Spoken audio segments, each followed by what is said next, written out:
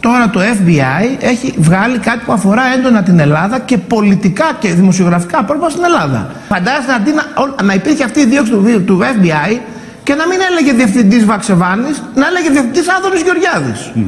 Τι θα γινόταν σήμερα στην Ελλάδα, πείτε μου κυρία Κλήτο, εσείς τα αλήθεια, με δικαιοσύνη τι θα γινόταν; Θα, θα με να κάνω και ένα σχόλιο, έτσι να ακούσουμε και στο FBI. Από την ποιότητα των ερευνών για την ΟΒΑΤ που διαβάζω και του FBI, έχω χάσει πάσα ιδέα για το FBI. Μάλλον πρέπει να μάθουν λίγο την ελληνική αστυνομία καλύτερα πώς γίνεται δουλειές.